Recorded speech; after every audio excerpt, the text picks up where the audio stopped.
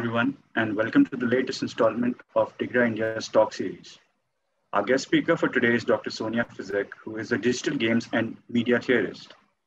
She's a professor at the Institute of Game Development and Research, Cologne, and also an associate editor of the Journal of Gaming and Virtual Worlds, which is a leading international journal publishing academic work in the field of game studies. So I would like to welcome Dr. Fizek here. And without any further ado, I will hand over to her. The stage is yours. Um, thank you uh, for the wonderful introduction. And um, yeah, I mean, we're all somewhere else, but I'm super happy that we have uh, gathered uh, uh here all together to listen to some of my ideas and uh, we'll see how we can, what we do with them later. Um, so thank you for the introduction and thanks for the, uh, for the invitation. Um, so today I will be all, uh, partially uh, reading from my upcoming book. Um, it will come out next year, so still a bit of waiting. Um, and the book will be called Playing at a Distance. Uh, and it's also the first time that I uh, present um, the aesthetic framework of distance, um, or what I call uh, playing at a distance, uh, underpinned by Karen Barad's philosophy of agential realism. So please bear with me, think along, and I don't have to uh, say it, I think, but question. And I'm very much looking forward to, um, to some dismantling of the ideas at the end of the, of the talk. Okay, there we go. In 1935, Albert Einstein coined the, firm, the famous phrase spooky action at a distance in order to dismiss a controversial theory of quantum entanglement, according to which particles separated by great distances could influence one another without the need for direct physical interaction. And those um, weird icons that you see are meant to represent those particles. In other words, Despite occupying remote locations, the particles were perceived as intimately linked. At the center of this puzzle lies the materiality behind a medium of communication, or at least this is how I interpret it. For this distant entanglement to be true, the information exchange between the two particles would need to move faster than light, an occurrence baffling, if not impossible, according to the Newtonian interpretation of the natural world. How can two objects communicate instantaneously over distances so great that the information package stored in light is not able to make it on time before the entanglement had taken place? So I will let this question rest as a playful cliffhanger, but what I want us to take um, from this playful innuendo is the concept of mediated distance or action at a distance. And you will see what I'm leading to. And this concept uh, or the, the, the distance, the figure of distance is central to how we experience and make sense of games and play in computerized forms. At least this is what I want to argue. Distance is deeply engraved in the media landscape. Without literal distance, there would be no need for a medium aided communication or a communication theory at all think of telephone infrastructures, um, digital network, or such mundane devices as remote controls, which have become almost invisible daily companions of many TV-equipped households in the last few decades. Not without a reason, one of the most frequently used prefixes to describe diverse media of communication is that of tele, um, which is um, distant um, in Greek, from Greek. Telegraph, telegram, telephone, television are all media of telecommunication. Distance lies at the very heart of games too, especially in their computerized and mechanized realization. But contrary to the intuitive association the term may awaken, my aim is not to study physical distances at play. So I will not show how, for instance, multiplayer online games bring together players from remote part of the globe, although that might uh, seem something really timely in the face of the pandemic. Neither do I want to look into physical distances simulated in game worlds. What I want to do instead is to present distance as a media aesthetic framework in order to challenge the common understanding of how we interact with technology in general and with video games in particular. So my goal is to analyze different forms of engagement with video games, which require surprisingly little direct or close action from the human players. I want to propose a theoretical position that invites to rethink the human agent as a central player in the gaming performance. In this perspective, human players are not self-governing subjects, but are subjected to the processes and procedures of technical media. In other words, I question modes of analysis based solely on human players' agency and choice. To play is not only to engage, but also to let go, to accept the agentiality of matter and to see oneself not as a player in the game world, but as a player of the game world. Uh, to loosely paraphrase Karen Barad, um, who will also uh, be actually the, the central uh, thinker of, uh, of my today's talk. So this proposition may sound a little bit counterintuitive, uh, maybe not to the audience here today, but I guess maybe in a, in a uh, to a general audience. So let me illustrate it with an example. And I have chosen an example that dates um, decades before the emergence of the first video game. So imagine this, imagine a self-playing piano, its keys moving automatically in a rhythmic dance as if pressed by a ghostly human virtuoso from another space and another time. Until 1920s, when a phonograph and later gramophone completely changed the musical landscape, self-playing pianos, also called um, player pianos or pianolas, had been the, on, the only instruments able to mechanically store and replay recorded musical pieces. Musical performances were literally punched onto perforated paper roll. This is uh, what you see here as well uh, in, the, in the image. And uh, this enabled a faithful recreation of a concrete performance played out at the listener's own convenience. Now, coming back to our uh, initial um, quotation from Albert Einstein, you might say that that was a truly spooky mediated action. Since the era of player pianos, many other media uh, that we know today as well, and older phonograph, gramophone, radio, film, etc., have decoupled space-time dimensions of otherwise synchronous human performances. Digital electronic computers, as the newest of all media, have also developed a special relation to the question of action at a distance. This time mediated not by perforated paper rolls, but by encoded silicon circuits and digital displays. In many ways, um, and I am, um, I have to shortcut a lot of, uh, of, of uh, thoughts today, but I hope uh, at some point you will read the book and uh, this will become much clearer. But in many ways, when uh, thinking about distance, I was also inspired um, by Brian Sutton Smith Cole to develop what he called in 2003 in his uh, keynote at the first DIGRA, um, to develop a vocabulary of distance within the context of play and games. And this is what, uh, what he was saying back then. You're looking at a screen and you're manipulating a computer which puts you at a great distance. So uh, this was something that um, a remark of his, which was quite, um, let's say, incidental. He didn't really develop that thought further. But when I discovered it, um, coincidentally, I, I, found it very, very uh, fitting uh, to this kind of thinking about distance and, and media and how media, how digital media and video games um, operate uh, with that kind of distance in the background. So the framework of distance, you can see it as an aesthetic framework. You can also think about it as a figure, um, has allowed me to open space to think through a variety of peripheral play forms and formats, which are often labeled non-play or not games, despite their highly ludic character. So for me, distance at play is above all a medium and metacentric perspective which sheds light on a diversity of delegated, automated, and otherwise distant experiences of play, which tend to be pushed to the edges of gameness.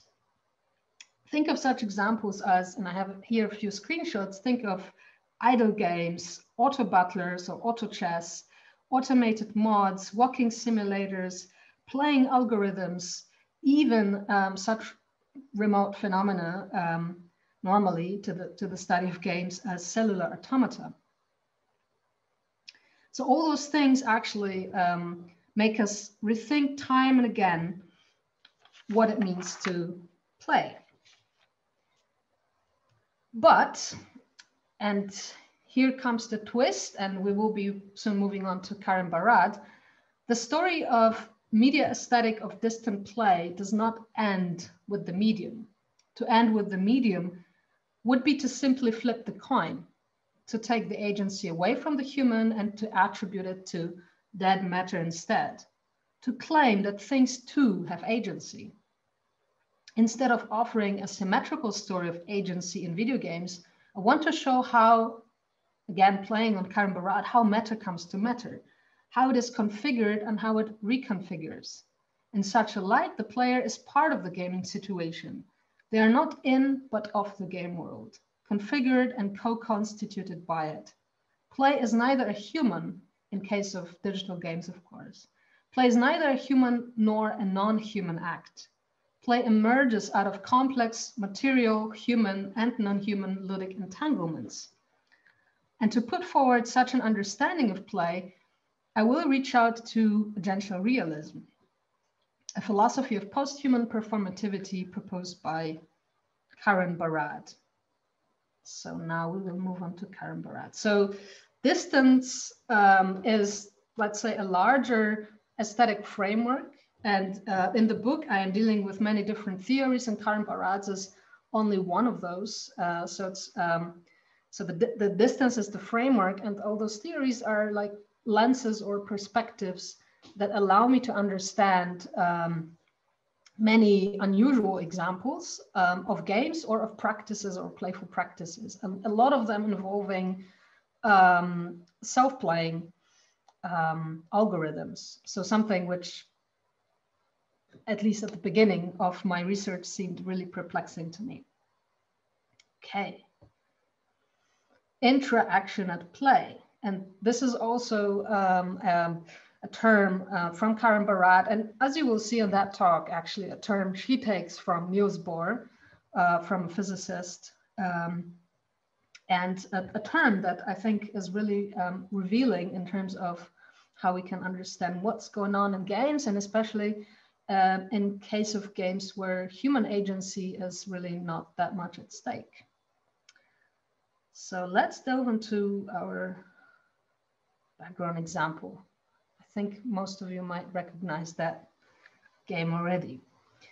The screen flickers with a myriad of warm fluorescent colors, yellow, orange, and red. My palms cling to the soft plastic curves of the gamepad and thumbs sway in a semi-automatic dance. The sound of branches cracking in the heat accompany me on my way through the virtual woods. The Shoshone National Forest is being consumed by wildfire, while I am trying to maneuver Henry safely to the helicopter. With persistence, I keep turning the tiny joysticks and pirouettes, but the figure on the screen would not move an inch. My fingers keep pressing all of the buttons in an ever-growing exasperation, to no avail. The game does not seem to care. The game's world floats in a trance-like state of ambience, as if waiting impatiently for me to act upon it. But I can't. Soon I discover the rather mundane reason for this frustrating moment in the final minutes of Firewatch. My game controller ran out of battery life. For a moment, the taken for granted relationship between me and the game has repolarized itself. With the repolarization, the old unresolved question hit back. Where does the subject, in this case the player, end and the object, the game, begin? Opening with, the, with this um, gameplay scenario, I would like to entertain a somewhat controversial proposition, and it only sounds controversial before we delve into, uh, into Karen Barad. And the proposition is this that players and games as such do not exist, at least not in the sense we have got used to think about the two. Neither players nor games can be seen as clear-cut, predefined entities, preceding and pre-existing the moment of play. Only through and within play, both unfold in a mutual ludic embrace. And although at first glimpse, the boundaries may strike as obvious, we all seem to intuitively think we know who the player is and what the game is or where they end, those boundaries actually never sit still. Players and games are not individual entities separated by predefined sharp edges. Theirs is not a static relationality, but a doing, the enactment of boundaries, to expand on Karen Barad. As I will argue, to challenge the prevalent patterns of thinking about video gaming and what follows digital play, we need to take a performative turn and I'm of course not the first one uh, who takes the performative turn. One of your uh, guest speakers uh, from a few weeks ago, Darshana Jayemanne, uh, has written a lot on performativity.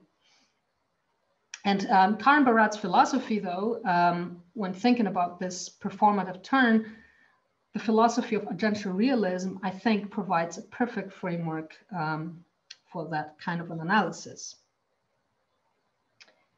With Karen Barad's performative perspective comes along a major ontological shift. And this is really crucial, kind of keep at the back of our heads.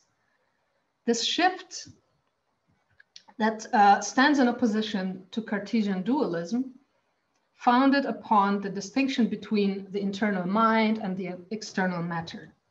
And just to uh, very briefly uh, illustrate this with examples from media studies and games, this division has become so entrenched within Western imagination that it is seen today as a pure common sense. And this is also what Barad uh, writes extensively upon.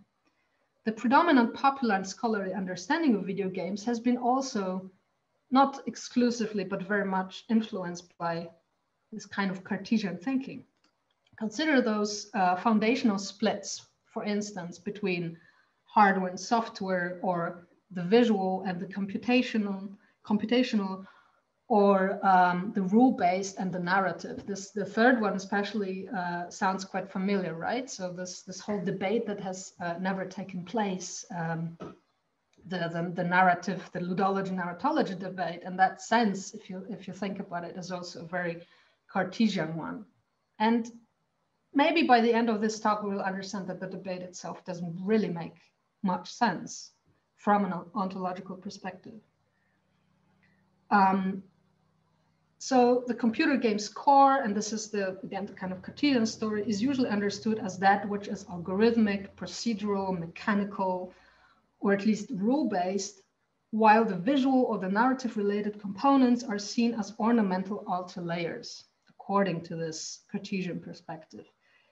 Um, so this juxtaposi juxtaposition appears in early, especially in early foundational texts uh, devoted to games.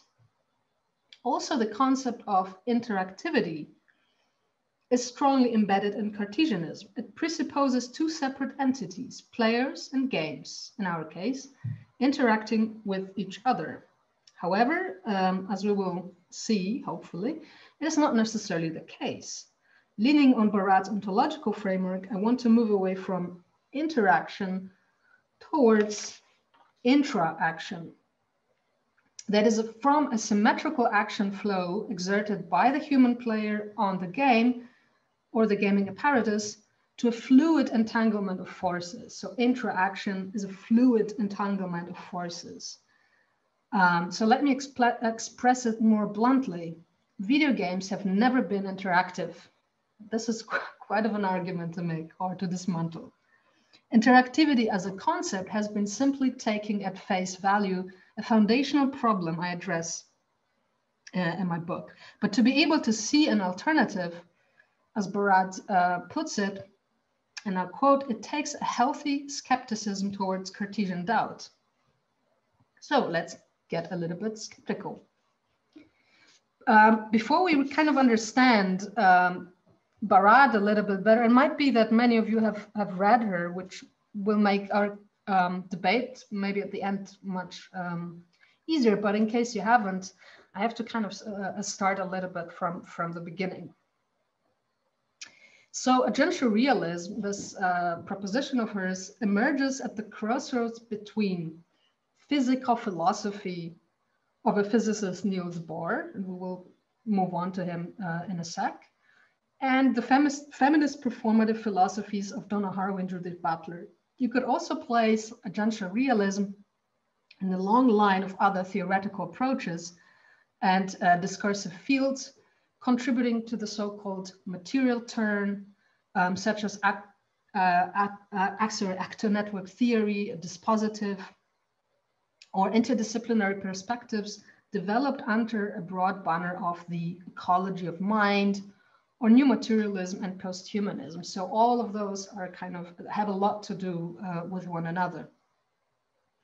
And although they are all um, grounded in different disciplines and supported by diverse mythologies, uh, methodology, sorry, and often develop with divergent uh, cultural context, all the above thought movements have one uh, or seem to have one thing in common. And this is the uh, thing that is really important for, for my argument here. They challenge the Western anthropocentric position of the human in the world. So the human is no longer a central agent, but part of a complex network of agencies, human and non-human alike. And matter is no longer seen as of course, in, in, in quotation marks, dead. It is not simply acted upon. So games are not simply played, acted upon. Matter becomes an integral part of any act. Matter is a meeting point, and that's Barad, of material and discursive acts.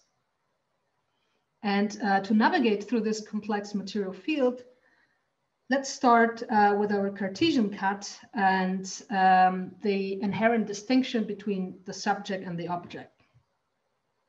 So this cut is produced uh, or produces a figure which is well known to positivist science, that of an objective human observer setting up a material apparatus, which is regarded as external to the very object that is being observed. In other words, the object is viewed as something existing independently of the action of its observation. You can also think, you know, substitute now the word object with the word game. The game is viewed as something existing independently of the act action of its observation or of its play. It does not influence the observer and unless desired is not influenced by the act of observation. So those two exist separately. This common sense belief in scientific processes of observation measurement has been challenged in 1920s by Niels Bohr. And Niels Bohr and, um, is, is crucial to um, Karen Barad's philosophy of agential realism, which, uh, which has uh, taken up, I think, in 1990s and of course uh, in 2000s. Um, so Niels Bohr, and we will just very shortly move to quantum theory. Um, he says that it's impossible to decouple the act of observation from that which is being observed. And today it maybe sounds a little bit less controversial, but back in 1920s it was a very controversial and almost unscientific uh, thing to say. So uh, let me illustrate what he meant uh, with the famous double slit experiment. And I am not really a, um, I'm not a physicist, I'm a humanist, but it's quite crucial to just maybe devote a few minutes to it in order to actually understand uh, Karen Barad's thinking and how um, how it uh, kind of um, dissolves the, the, Cartesian thinking and how it makes it really um, enlightening um, to think about uh, many phenomena, games including. So just for, for, for, for a little sec, uh, Niels Bohr and uh, physics. So according to classical physics, and this is what Barad explains in her text as well, uh, the world is composed of two types of entities, particles and waves. Whereas particles are localized entities and they occupy a certain place in space and time, so they cannot be in two places at the same time, waves behave very differently. And we kind of all know it intuitively they overlap with one another. And uh, this phenomenon known to anybody who has ever observed um, water waves. So from an ontological perspective, particle and waves couldn't be more contradictory. And the double slit experiment, and this is kind of the, the whole um, core of this uh, ontological thinking, is a setup whose task is to discern whether an electron, which enters at the beginning, whether the electron sent through two slits turns out as a particle or a wave. And it cannot be uh, one and the other at the same time, right? It has to be either or. So um, if the electron turns out to be something composed of particles, on the other side of the double slit, it will form a different kind of pattern, a scatter pattern. If it turns out to be a wave, it will uh, form a different kind of pattern. She calls it, uh, Bohr calls it, and, and Barad mentions it, diffraction pattern. But the whole experiment, uh, without going into details, resulted in demonstrating that electrons, which are sent through the double slit par uh, as particles, end up building up patterns characteristics of waves. And um, the big lesson from is this. So Niels Bohr interprets this contradictory state by arguing for the inseparability of the apparatus of measurement and the observed object in the so-called theory of complementarity. Um, so it acknowledges that items may manifest themselves as having mutually exclusive properties. And Barad uh, uh, reinterprets it and says actually that nature has always been queer. Light um, as this experiment shows, is both a wave and a stream of particles. It all depends on the experimental framework. So it all depends on how we test it, how we look at it, and on the conditions under which it is being observed. So this perplex perplexing duality of neither nor provided an ontological insight into the ambiguity of nature itself. And now you kind of probably see where I'm going, right? Ambiguity is, is this kind of core. So the key ontological lesson from this is um, that independent objects with measurable attributes do not exist prior to and outside of measurement. There are no things, quote, before the measurement. There's no game before play. And the very act of measurement produces determinate boundaries and properties of things. So objects cannot be taken for granted as objective reference. What we're able to observe or catch in the moment are phenomena. In the case of the experiment described um, here, the interaction of what physics calls the electron with a concrete apparatus. So according to such a perspective, the ontological change of the electron alongside the change of the apparatus should not come as surprise. What is being measured is not an independent electron, but a phenomenon in the making. And I think this is uh, uh, quite crucial. So it's an ontological shift. Uh, things are not as clear cut as it seems, and objects do not pre exist the moment of measurement or observation. So that's enough about quantum, physics. quantum physics. But if this sticks to you, you will kind of understand uh, uh, Karen Barad, I think, much more easily. And it will not only be a conflation of, of terms like entanglement or diffraction, and which have uh, a little meaning. So the world of quantum physics experiments and indeterminate ontologies of electrons seems very remote from what we observe in our daily lives and or gaming sessions. The question is then how to adapt the particle wave dualism to human experience. And this is where Karen Barad comes in and begins her journey with the philosophy of agential realism, with ambiguity and the paradox of mutual exclusivity on the human level. Following into the footsteps of quantum physics, Barad sees matter as a dynamic, always reconfiguring articulation of the world now I think after uh, uh, Niels Bohr's and double slit experiment, you can kind of understand what she means when she says that matter is off the world as opposed to in the world. It's not pure rhetorics.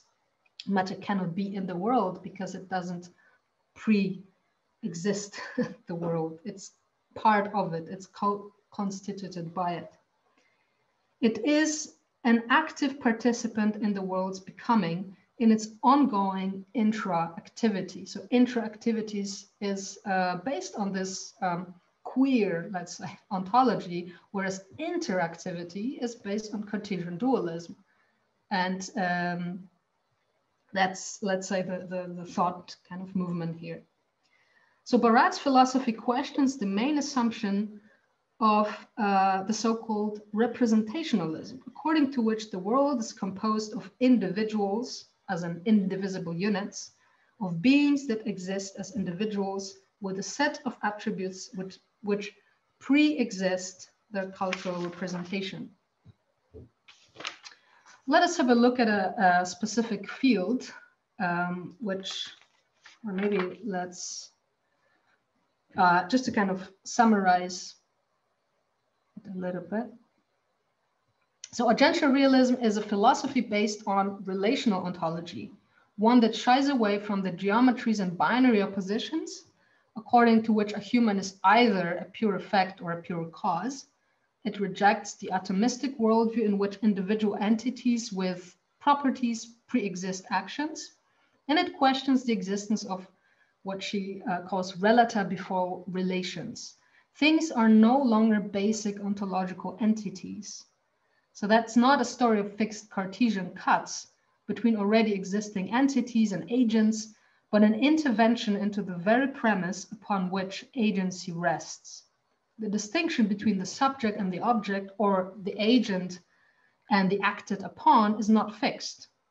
It may change depending on where we place the so-called agential cut. So it's really context and situation dependent. So coming back to games, and now also moving into a concrete example, think about our initial anecdotal example of, of um, Firewatch, of me not being able to perform an action because I ran out of battery. In an agential realist uh, uh, reading, we do not start the game with separate interacting entities, a human player exercising their agency over a game via a controller.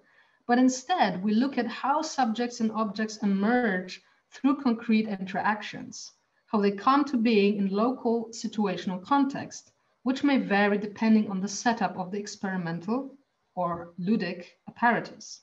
So in the case of Firewatch, and I think uh, this is a, this was of course a coincidence, and I really it really happened one evening. I ran out of battery, and this uh, was you know it's beautiful serendipitous moment in research where something happens and it kind of makes you realize um, uh, that you uh, makes you understand theories you're working with much better.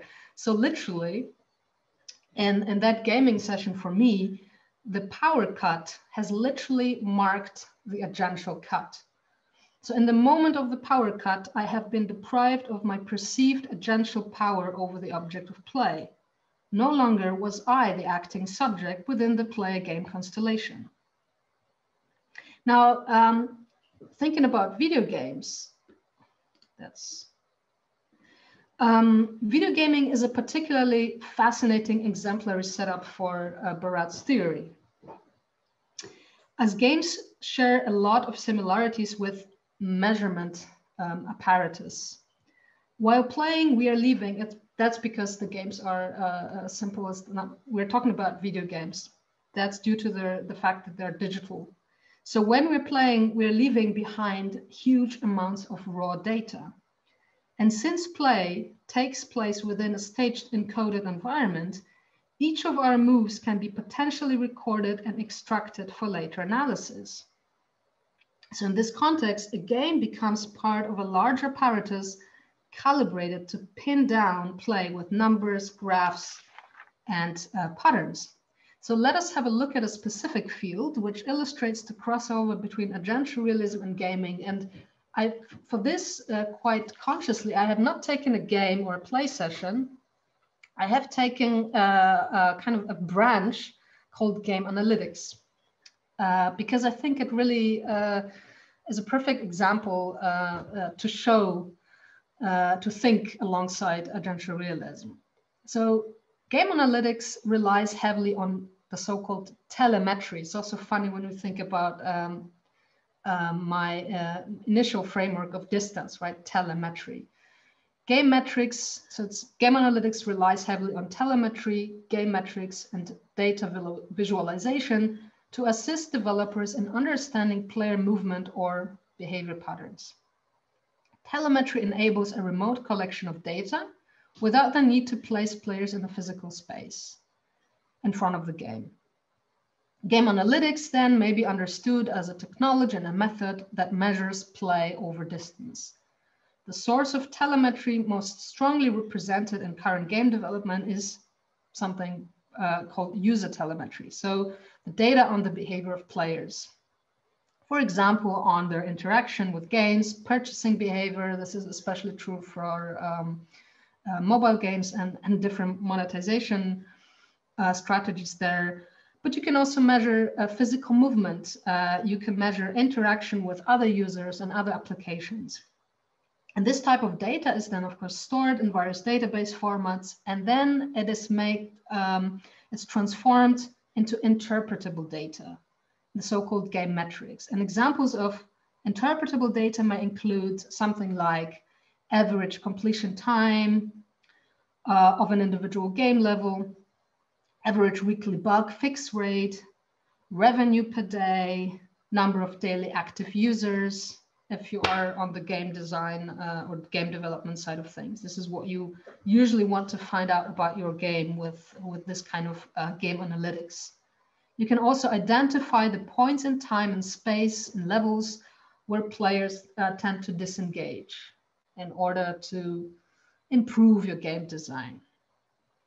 And uh, this type of measurable data is usually interpreted and represented in the forms of diverse visualizations, of course because otherwise it will be very hard to interpret those. And uh, I'm not a game an uh, analyst, and we will not uh, perform a, a close uh, analysis of that sort, but it's just uh, as an example for us to kind of engage with. So this one here is, is just an exemplary um, dashboard of one of such tools for, for, for game analytics, Delta DNA. Um, they have been acquired by Unity, and so now uh, I think it's coming literally next month. Unity, the, the game develop the game one of the game engines, leading game engines, will have the possibility of an integrated game analytics tool. So it is actually quite central. Has become central. This kind of measurement, this kind of apparatus, has become central to the process of, of game development, game design. Um, so let's have a, a, look at this right now. Just let's, let's think about it uh, for a second. That's our case scenario. And let's see what it means to place an agential cut within a concrete game analytics apparatus. So that uh, image that we see here illustrates a demonstrational versions of the dashboard, and that gives us an overview of different performance indicators inside of the game analytics tool. The players and play patterns are segmented according to set characteristics. And what you can see here is something like new incoming players, active players, and players measured by retention values, daily, weekly, and so on. It is also possible to view the numbers of players who are performing monetary transactions. We can compare the action of selecting a particular slice of data to performing an agential cut the cut changes the lens, and that, that's, I think, uh, the, the cut is, of course, the, uh, the term from Karen Barad. So the cut uh, changes the lens through which we study the selected now slice of data representing a slice of gameplay.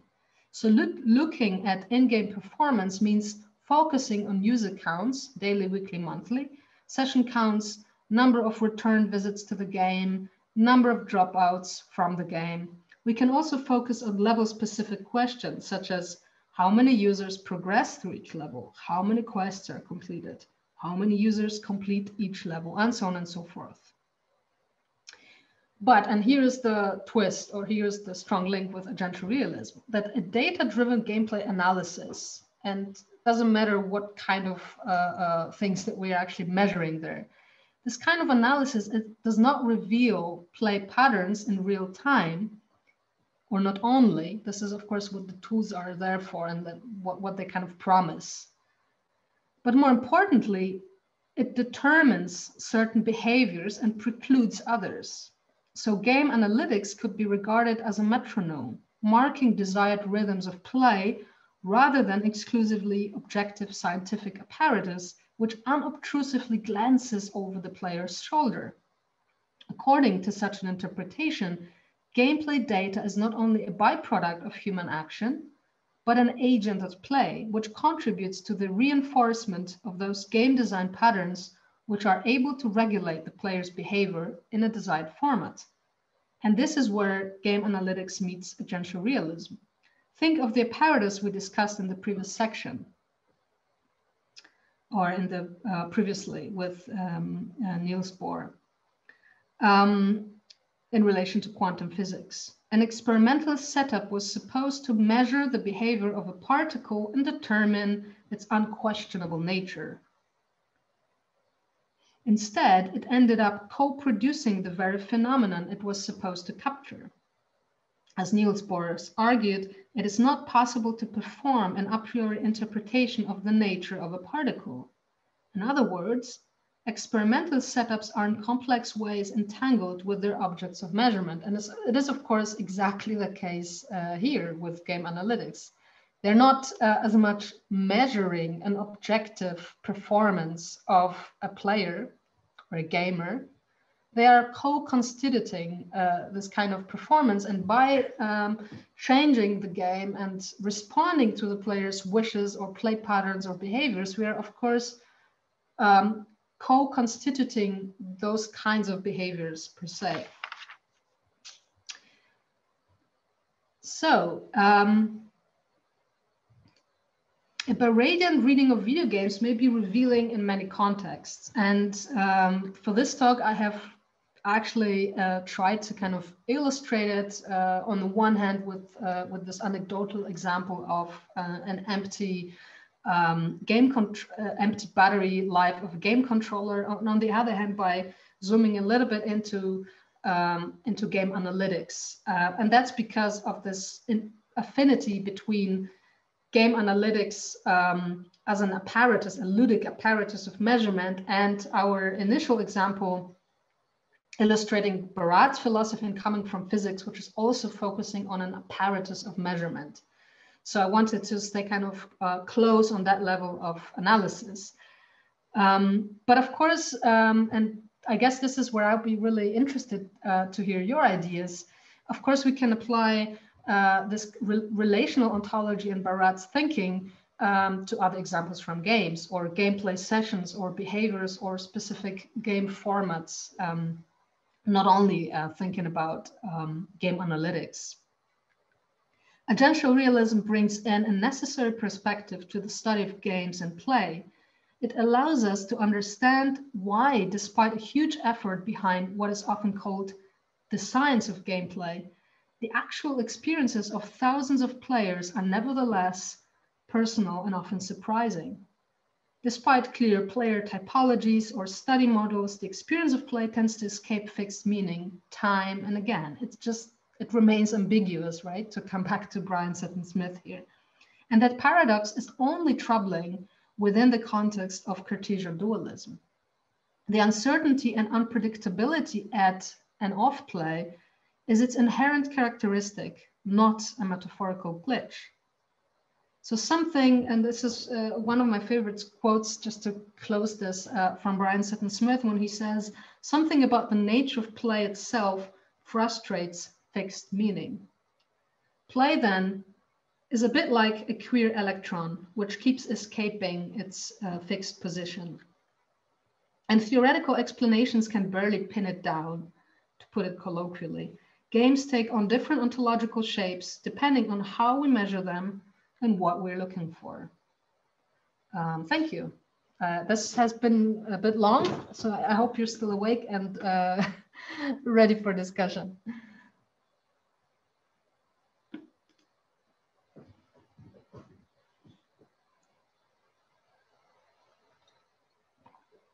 Wake up. you know, we're all up. Yeah.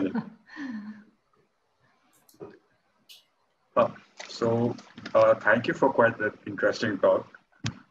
And uh, I would like to uh, invite Dr. Shobit to say a few words before uh, we move towards the question and answer section, if he has anything to add to this. Oh, uh, thank you, Jeffrey. Uh, I just wanted to uh, thank all the people who are who made it today to the uh, talk today. Of course, of course, uh, Sonia Fizek, uh, Dr. Sonia Fizek, my dear old friend, uh, but who's uh, given such a fantastic talk. We'll come to the question and answers later. But I just wanted to very quickly thank DiGRA, the Digital Games Research Association, for uh, giving us uh, well access to a Zoom Pro account so that we are now not kind of wandering from one meeting to another, but uh, we are able to kind of um, conduct meetings uh, and lectures and talks in a more orderly way. So thank you again to DiGRA. If you're listening, well, uh. And of course, thanks a hugely to Sonia. And I know that many people are actually kind of uh, waiting to ask questions, including me. But I shall open the floor. Uh, well, I, sh I shall return, return this to Jeffrey. So Jeffrey, over, over to you again. Uh, thank you for your words. Uh, I would like to open uh, the floor for uh, the questions. Please be free to feel free to ask these questions, or you can type it in the chat, and I will be asking questions to Dr. Fizek. and now I also see some of the comments on the chat.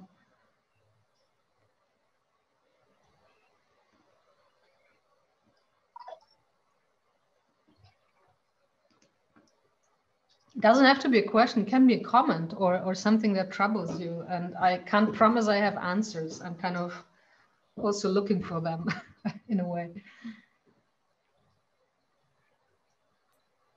I think Nishargo Bhattacharji has a question. Yeah, you can uh, go ahead, uh, Nishar. Yeah, hello. Uh, thank you for that talk. I've been really looking forward to this one in particular. so uh, I have uh, like one question because I was thinking about the pleasure of gaming.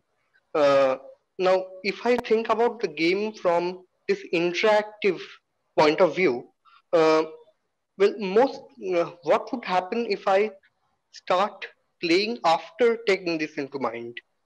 Like uh, I can think whether it would increase the pleasure of gaming or not. Uh, uh, uh, uh, is the audio all right?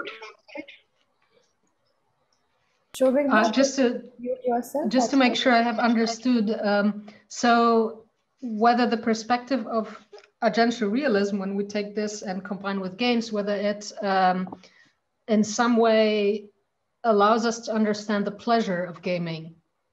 Mm -hmm. I mean, whether it would increase or decrease my pleasure while I'm gaming.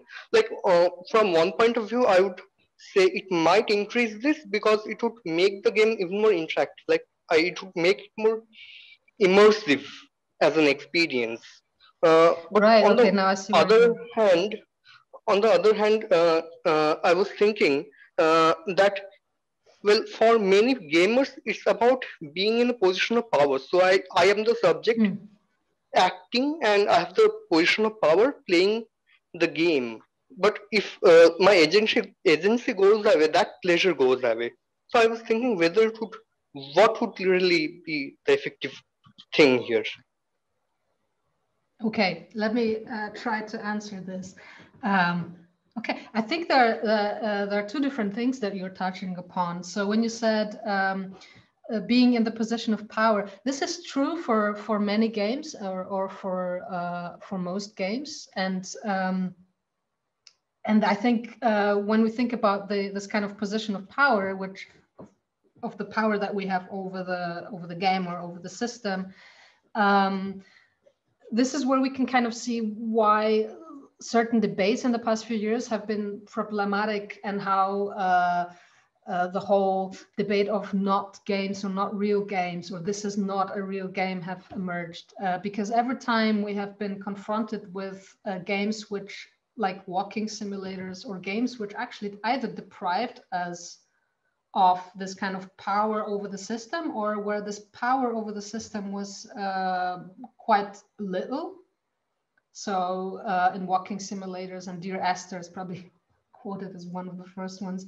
We don't, we cannot really do a lot. I mean, from a narrative perspective, yes, but um, uh, there's not a high skill that is involved uh, in those games. And for many people, uh, now not thinking about theoreticians, but for many gamers, this was a problem intuitively because that kind of position of power has been either endangered or not really there. Um, so I think, on, so one uh, way to answer this, and now I will move on to pleasure in a sec, is I think thinking with agential realism or thinking with interaction is actually, I think it's more of a theoretical move, really. It's for us when we ask ourselves, while why is something considered a game and sometimes it's uh, um, for many it's not a game? And there's not an easy solution to this one and not a single definition of game can actually deal with that. It's it's because of interaction and interaction actually. So it's not about um, exposing this kind of or, or exercising the power over the game or over the over an object it's on a theoretical level it's actually realizing that it's uh, those boundaries between us as players and the games are much more fluid and in many uh, examples, uh, it's not that clear where this power is exercised. And if there's not enough power exercise, it stops being a game. Only if we really think about that, that's a necessity. Now, about the pleasure and immersion, um, I, I, don't think this theory can actually answer to the question of pleasure. Uh, I kind of see where you're coming from because most of uh, most of the time we think about interactive systems, we think about this uh, interactivity as the um, as a necessary condition for uh, this kind of medium to be pleasant. We want to act in it, but uh, agential realism doesn't really say that you're not acting. And in this talk, for the first time, I was actually not showing even games that are self-playing, and I have a lot of those in, in, the, uh, in the book, because it's not about uh, giving up the act of play. It's, uh, it's about um, rethinking what it actually means. It's about uh, realizing that the game, the system, is also having a lot of agency in that case. So it's not only that we are playing games, they also play us. It's quite metaphorical, but in a sense, um, this kind of situation emerges, uh, this, it can be pleasant, sure. Uh, but in many way, ways, uh, how we can perform in the system and how we find it pleasant depends a lot, not only on us and our power, it also depends on that infrastructure of that particular system, that particular game, and what it allows me to actually do with it.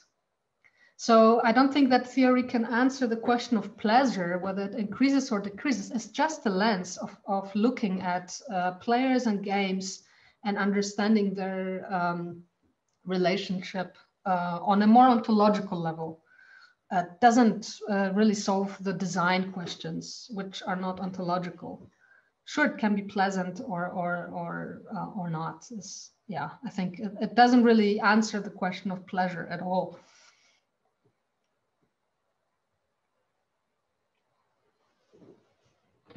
Yeah, thank you for the answer. Yeah. Uh, we have a question from Anubhav. Uh, would you like to ask it or should I read it out?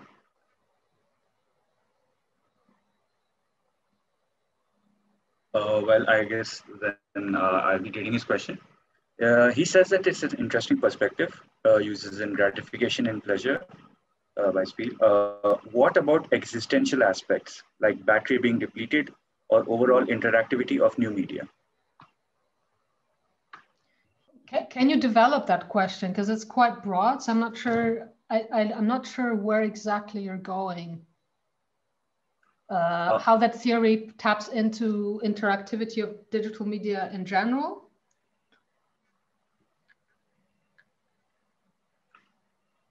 Uh, so while uh, he does think about the question. Uh, Dr. Souvik also has a question. It's how does uh, agential reality take into account the subaltern? Uh, I thought of the metaphor of the spent battery in the controller. The player wants to move but cannot, just as the colonized subject who wants to be heard but cannot. If play is a queer electron that cannot be shut in a watertight category, can the subaltern, that is in the colonial scenario or even worse, under slavery, play? Okay, that, that that's a heavy one, Souvik. I, I see it also written. I will read it again to myself because that's quite uh, complex.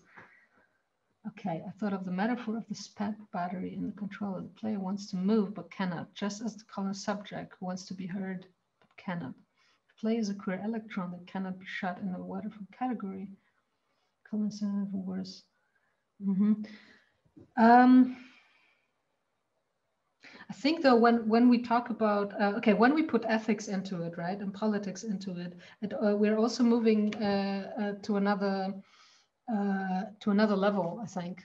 So we are uh, I'm not sure if it's an ontological if it's an ontological question then because and that's what's so hard about Karen Barad and I'm still kind of grappling with it. I, I took the battery the empty battery as an example because it's um, I think um, it just exposes um, uh, this object subject relationship and how in a given situation theoretically i was in the position of power that power all of a sudden was gone just because of an empty battery. So the, the matter manifested itself.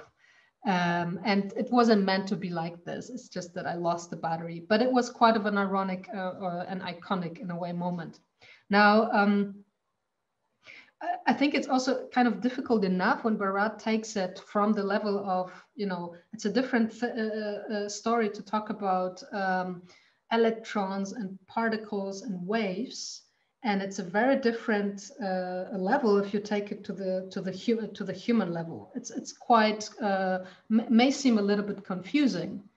Uh, in the first glance, but what you're kind of playing with is this is taking it not only it's taking it to, to, to the ethical and, and political level. And, um, and I'm not sure if agential realism um, actually gives a, I'm not sure if it gives a, a solution to this, to be honest, uh, or how it can give a solution to, uh, you know, to empower the, the subject, which is here actually deprived of power in that sense.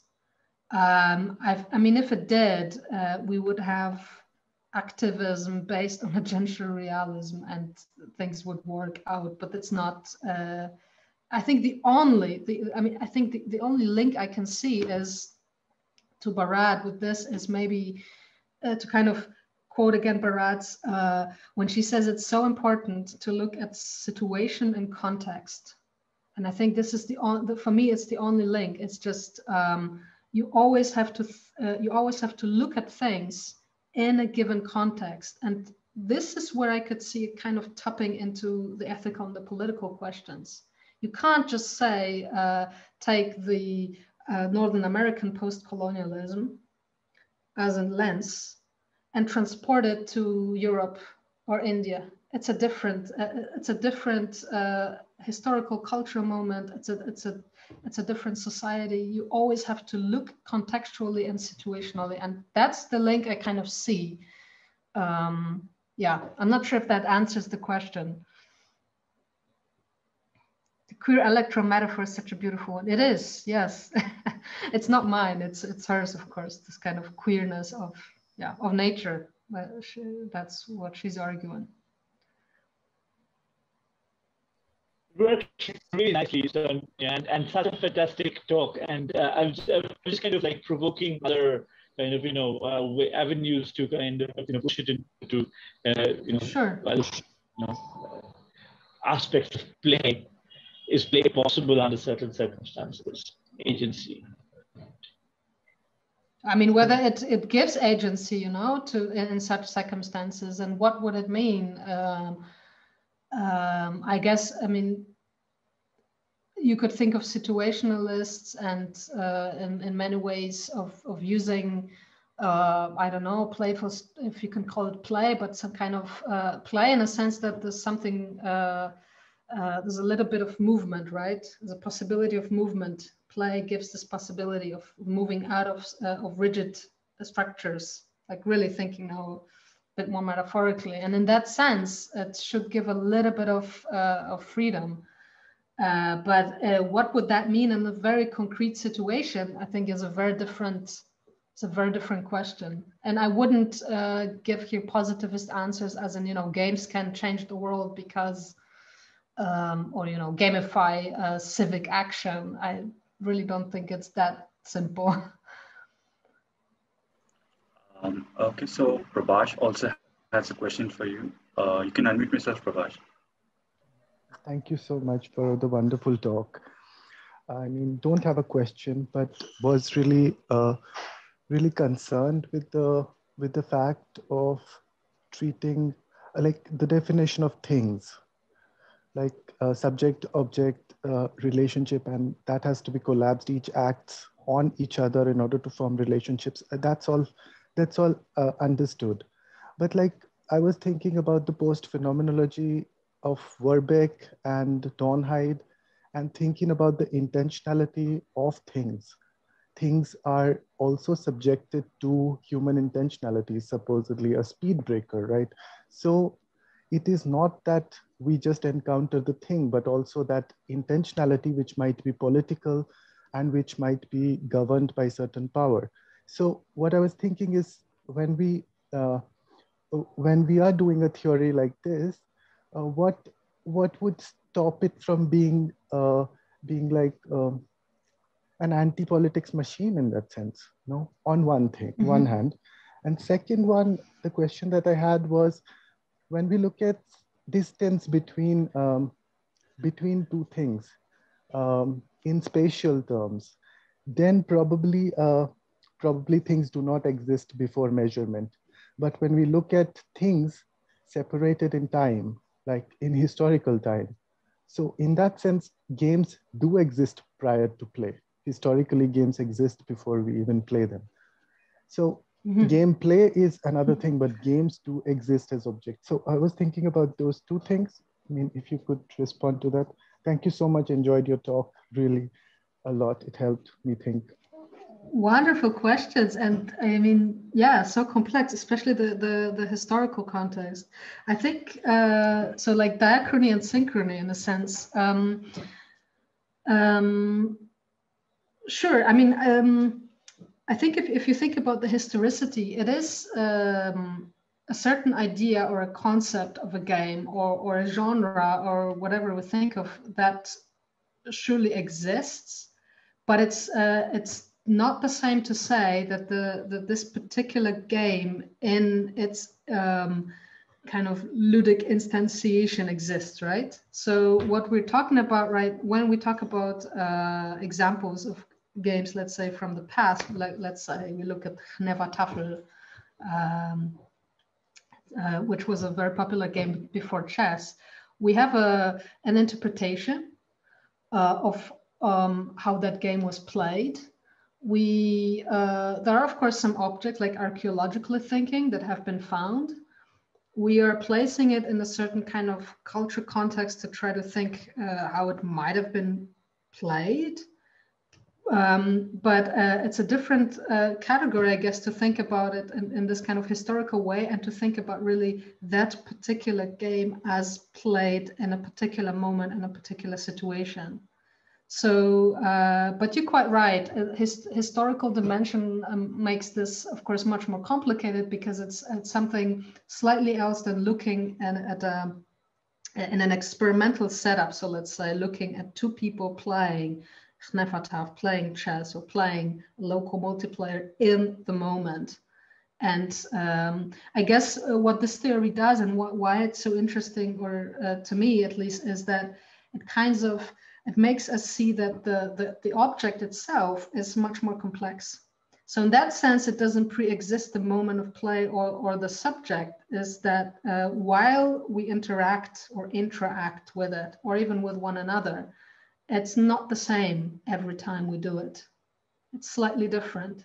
It's, uh, might be that the rules are the, the more rigid the rules are the more of course repetitive this kind of we will always be able to play chess according to the rules but the game of chess our game will not be the same um, each time we play. So i think uh, i think it's really uh, this this theory or this kind of ontology has to has to be kind of understood more uh, as, as something which is um, revealing the experience of something that is in the moment of. Um, but that's not to say that uh, a certain um, object doesn't uh, doesn't have a doesn't have a history. But I have to really I have to kind of uh, uh give an extended uh, uh, thinking to, to to your point because it's um, it's really interesting and it um, complicates. I think the, the the application of agential realism to games a lot, which is great. And uh, then you also mentioned the anti uh, the anti-politics machine. I think um, just super quickly, I think uh, what is what we really have to be kind of careful about is um, this concept of uh, responsibility, right? And uh, that's what I, I think I, I, didn't politicize or I didn't touch upon ethical issues in my talk, but at the beginning I mentioned I don't just want to flip the coin, and I guess an agential realism doesn't do it. So I don't want to say that now I take the agency away from the human and we just have a, a flipped uh, argument saying it's the matter that acts, right? Uh, this is actually uh, quite ethically um, questionable because that would mean that humans are not taking any responsibility.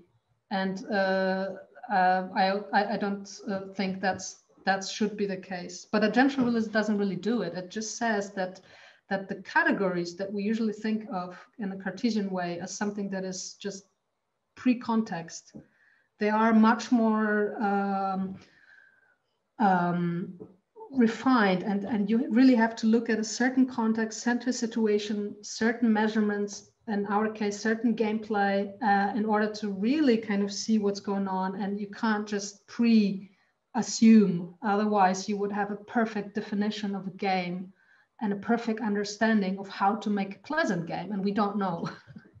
and that's because it's so specific, context specific, actually. But uh, yeah, I love your uh, the way you're kind of combining those two things: historicity and then the uh, the anti-politics machine, as you said. So thank you for those two thoughts. Thank you so much for answering.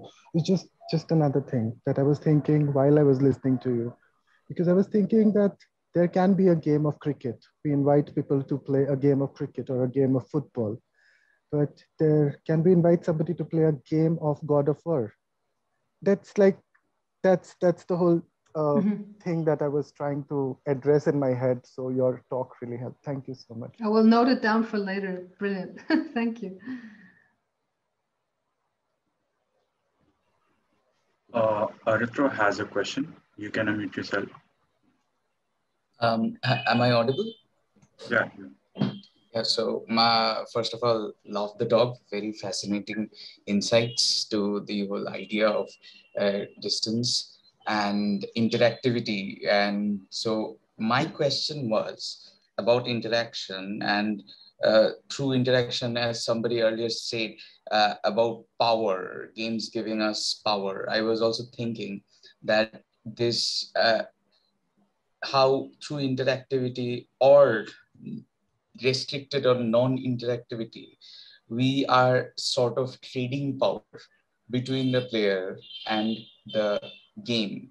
So, for example, I was thinking that uh, even though we are have even if we are taking games which give us uh, you know traditional games which mm, sort of give us uh, more interactive uh, interactive abilities than interactivity than other games like walking simulator or if, if even if i take exp- other experimental titles like for for example before your eyes which is controlled by our blink but if I go to the other way where there is a lot of interactivity, even there, how much power do we think we really have? Because at the end of the day, we are following the rule sets of the game itself. We cannot really, if, if the game is meant to control by uh, maybe this stake, this uh, left stake or the right stake, it is meant to be controlled, and you cannot really go beyond. Uh, so there, that was I was thinking that how this power de- de- relation uh, also is affected by it's it's not i it's more of a comment than uh, uh you know a direct question. So that's what i was thinking that uh, how interactivity itself is uh, also related with you know these subconscious or conscious kinds of power relations that is constantly being created between games and the gamer so to say. Um, yeah, I mean, while you were uh, uh, commenting, uh, I also kind of thought, and it became clear to me that uh, this uh, interpretation of, especially, but not only, but uh, especially with, with video games or, or computer games or digital games, this kind of obsession that we have with power or the and it kind of ties it back to the first question or, or the, the, first person who said about pleasure right?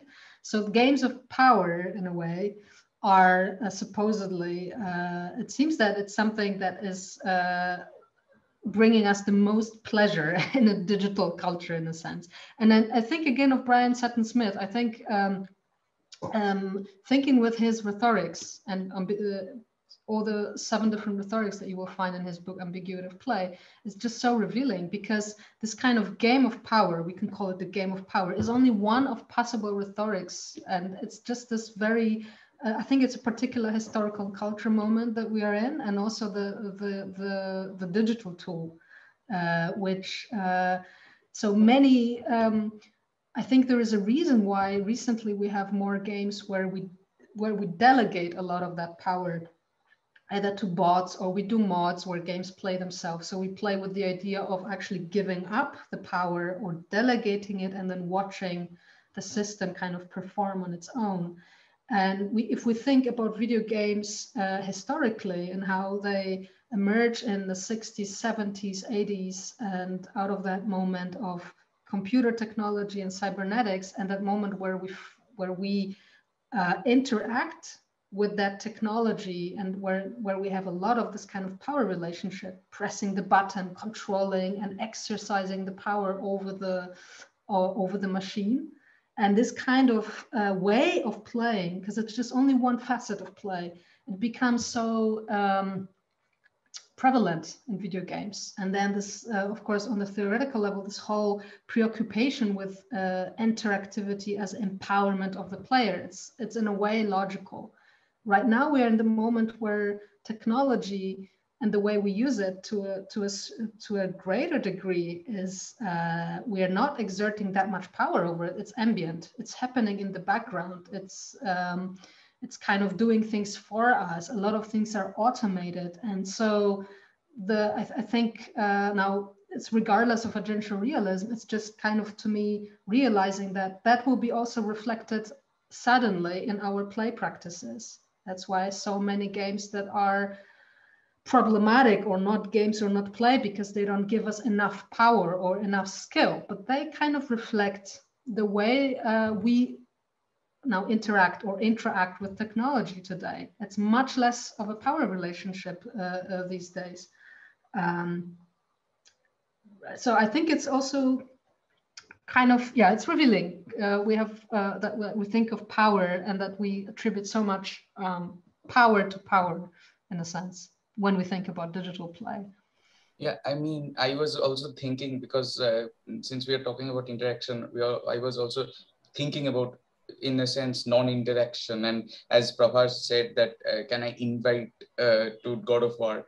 Uh, so it, that also also made me think that, for example, recently there are many uh, videos and uh, uh, being made on YouTube where people are modding games. Uh, for example, somebody mod did Dark Souls where the player isn't playing, rather the game the game characters from different other games themselves are uh, uh, interacting with each other so the whole whole thing is the player isn't interacting at all. Rather, they have tweaked the system somehow so that the NPCs, so to say, are interacting mm. with each other. And so that was also, that also seems like a kind of play to me, even though, because sure. at the end of the day, NPCs are playing with each other. So that's also a thing. I am with you on this one, and I think uh, such examples actually, because uh, intra uh, activity and uh, Barad's theory is kind of one of the chapters. So it's it's like one of the elements uh, for my thinking with distance as this kind of framework. And the example that you're mentioning is particularly interesting because it shows sure it's it's not like we're completely giving up our uh, power or agency we're delegating it so this is what uh, when i when i say oh it's an aesthetic framework is um, it's we have still programmed those bots right or we have used or made the mod or uh, used uh, the technology in one way or another to be able to uh, to to actually make the game play but uh, the fact that I'm not pushing the button instantaneously and that uh, it's the action is delegated to an automated algorithm, whether it's visually represented by an NPC or not is another story. Uh, of course, it's still play. It's just it's delegated play. So the distance between me as the player and the game, in a way, maybe uh, metaphorically, kind of um, extends. But um, yeah, I mean, I would say, of course, it's play. It's it is. It's just uh, we, we play with technology in that in that sense, and um, it gives us this possibility to delegate the action, and and the example that you give. Uh, well, since we're running out of time, there are a few comments in the chat that I would like to read out for you. Uh, uh, first is Poonam that says that the inter interaction and interaction dynamic between games and human input is making me think of the ergodic continuum. Uh, uh, Nisarga says that speaking of God of War, it's interesting to note how power is partially given over by Kratos to Atreus. The diffusion of agency has added so much agency to the game when compared to the previous installments. Uh, Anubhav uh, says that the option to automate or play by oneself itself indicates more power as, it, as it's up to the player to make the choices. And Poonam again uh, says that watching gameplays on YouTube, we can experience a game without actually playing or interacting with them. Would you like to uh, make any comments, uh, replies, or anything, observations sure. to that? Um, let's see. Um,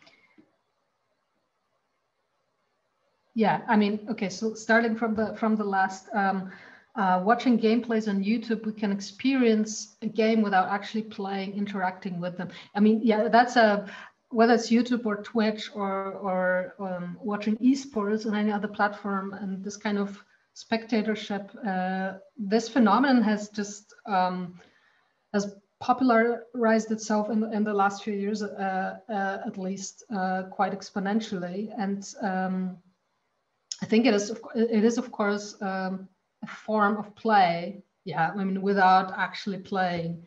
Um, there's so much in this that, it, I mean, we don't have time to go into the nitty gritty, but uh, just to kind of uh, play on this, I will uh, encourage you, maybe you know that text already, but go to uh, an early piece on interactivity by Lev Manovich. Uh, I think it's called, uh, it's a very short essay actually. It's almost like a statement. I, I think it's called, wait, could you spell out the, the author's name? Yeah, Lev Manovich, uh, who's a new uh, digital media theorist. And oh yeah, the text is called On Totalitarian Interactivity.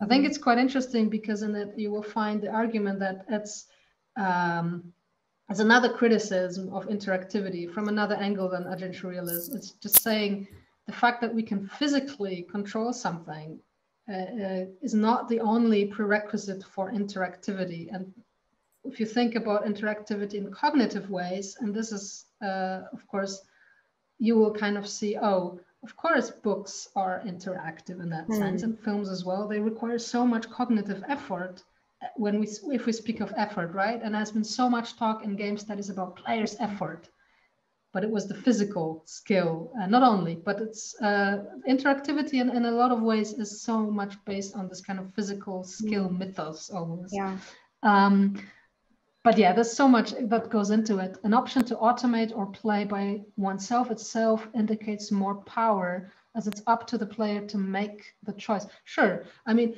it is i think again uh, it depends on, on how you understand what is power, I guess, and why it's even power a necessary um, condition to understand play. I, I say uh, in one moment that to play is not only to control something, it's the power kind of end of things, it's also to let go. Um, let's leave it at that as that. But uh, I think uh, this kind of gives a little bit balance to, to this preoccupation with power and, and exerting control, which is of course, in, in most cases, it is a huge part of gaming and without any doubt. Um, uh, but yeah, I mean, automating as again, it's it's delegating. Uh, there are many ways to understand it, I think. And one of the chapters I I uh, and that paper actually exists. Uh, uh, it's on on a DiGRA website. I talk about interpassivity, which is another concept from philosophy, and it's quite revealing because it actually, um, in a way, allows us to understand what's so pleasant. Talking about pleasure in giving up right?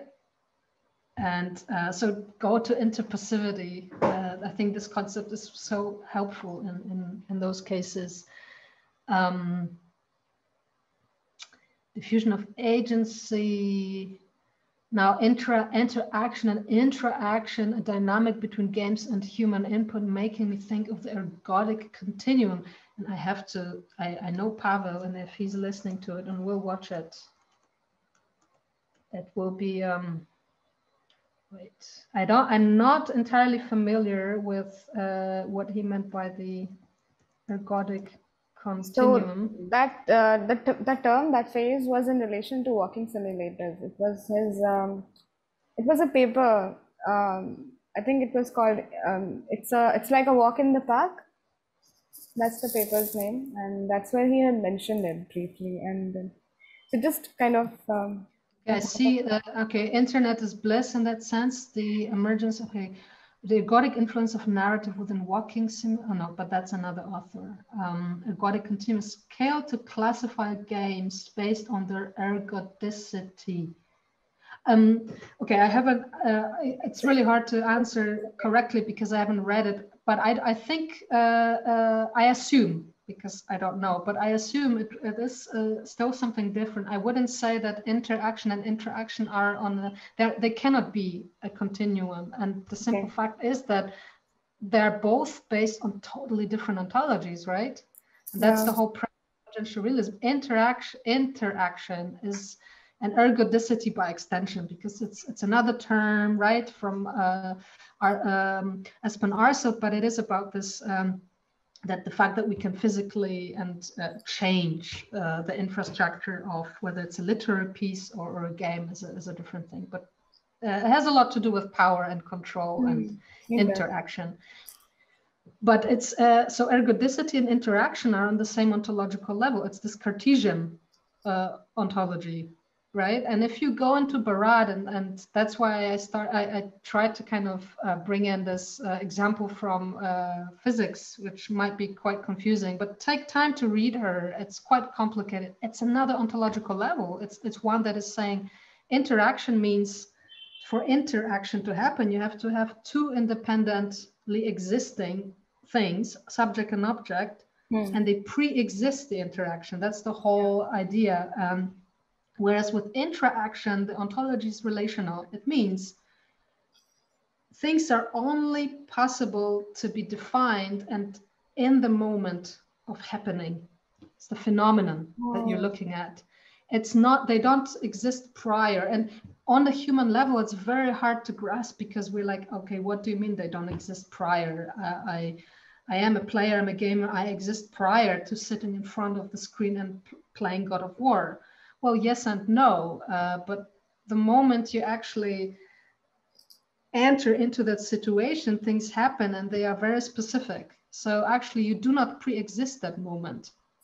And I mean, it's easier said than done. And um, I can only encourage you to to delve into into Barad. But I think it's quite eye-opening, and I I think. Um, um, yeah, I, these two things are really, it's a different ontological level. So uh, they wouldn't be on any type of continuum because they just totally exclude one another. It's the, just the playfulness of terminology that might uh, suggest that they kind of belong together, but they don't. I'm so glad that you um, uh, kind of elaborated on this because we, a lot of us think of ergodicity quite a bit because of and its texts. So I'm so glad that you answered it so well.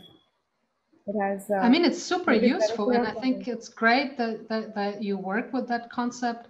I just think that if we go into interaction and Barad, and uh, it just complicates things so much more. And it's not a new theory; it's been there for a while, and it has been applied uh, to many other um, uh, disciplines. I didn't have time and I already spent an hour, uh, so I didn't actually have time to, to show you uh, how it has been applied in other disciplines. It has also been uh, a, a, subject in game studies. Not a few, uh, but a few of uh, uh, my colleagues have, and I have one extra slide. I will just show you super quickly, so that, and you can just take a screenshot maybe. And um, just to give you an idea, Oh, sorry, I don't see the the control panel, which I need to in order to share that slide with you. Well, in the in the oh, there it is. Um, but if we run out of time, I can also share the slides. And then, um, okay, do you do you see this slide with a lot of names on it? Yes, I do. I take a, screenshot. screenshot. I just there's, there's no but it's uh, so there are a few people who work explicitly with Barad and games. Just the past few years, to be honest, Justina Yanni, Connor, um, Seth Giddings didn't work with Barad, but in 2005 he he also works with this human and non-human idea, but it takes Ant, so uh, a, uh, a, different uh, theoretical lens. Um, so um, theory and so actor network theory. Alenda Chang talks about non-human agency, uh, not Barad, but uh, let's say a different perspective, but a similar move. Jan Stasieńko, less known to Anglophone uh, readers, but uh, from Poland and um, post-human intimacy. Paolo Ruffino, even Frans Mäyrä, uh, I say even because Frans Mäyrä used to be quite Cartesian in his early days.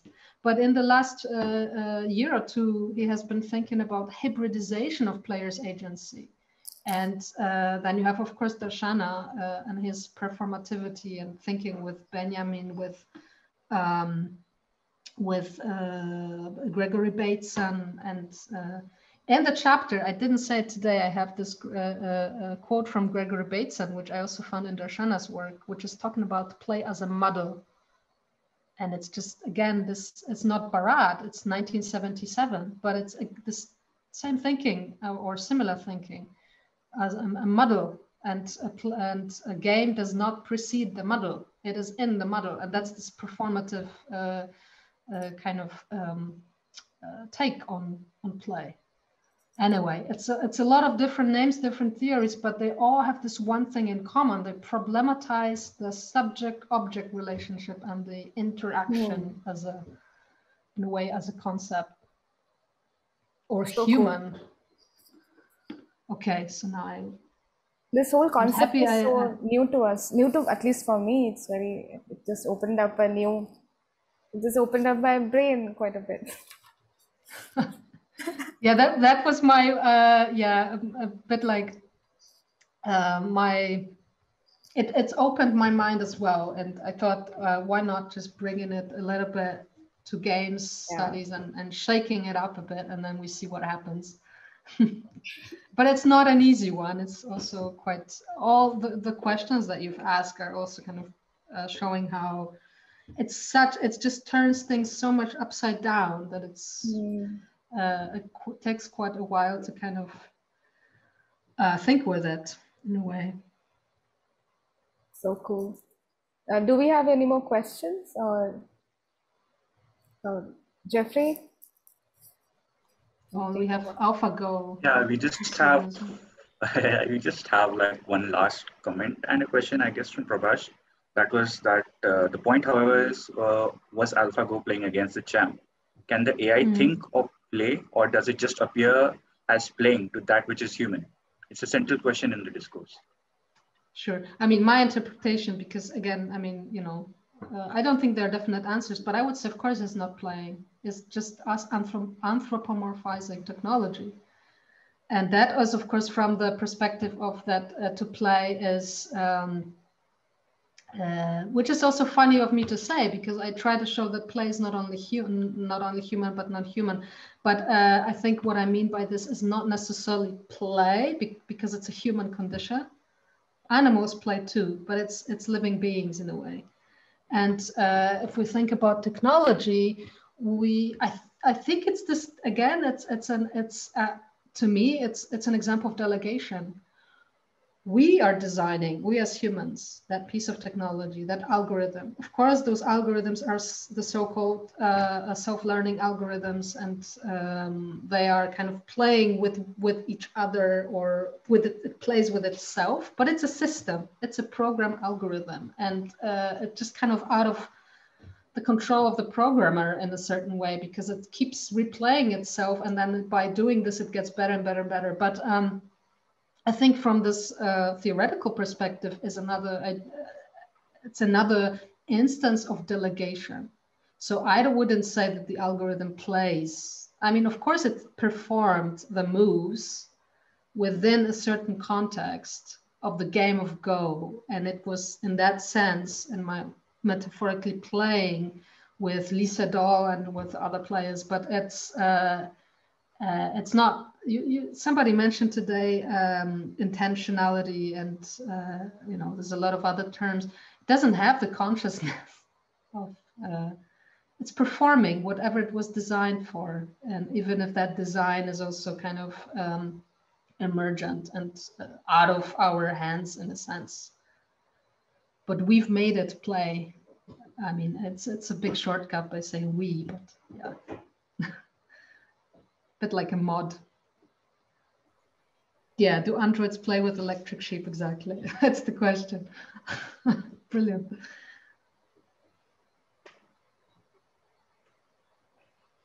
Okay, so well, I guess with this we will bring an end to today's session.